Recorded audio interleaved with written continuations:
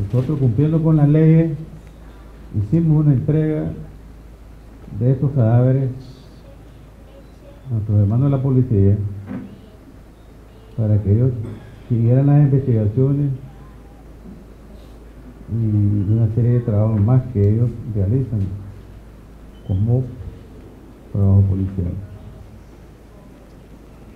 Para que quede claro, nosotros no hemos hecho fosa. Nosotros, nosotros no hemos enterrado a nadie. Nosotros como ejército preservamos el lugar.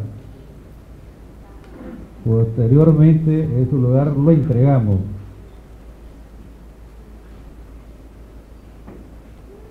Y que quede claro, nosotros no hemos hecho ninguna fosa, ningún entierro.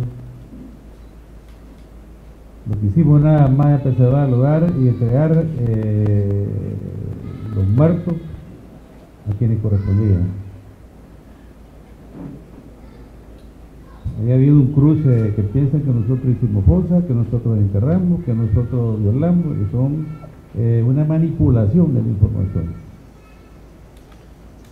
Y todos ustedes, los productores y comerciantes y ganaderos, están claros que la línea de trabajo de nosotros no es esa. Lo que pasa es que hay una línea que está herida de prestigiar la institución. Y de aquí le decimos de que eso es eh, una posición muy sucia que tienen algunos medios con la institución. Nosotros, repito, no hemos hecho cosas. Nosotros no hemos enterrado a nadie. Hay una comisión a quien se le entregó eso. Eso es la, la misma comunidad de, San Pablo 22, lo sabe. Que en ningún momento nosotros hemos hecho ese tipo de actividad. Nosotros jamás de los jamás vamos a actuar de esa manera porque nuestro comandante en jefe, Julio César Avilés, nos ha ordenado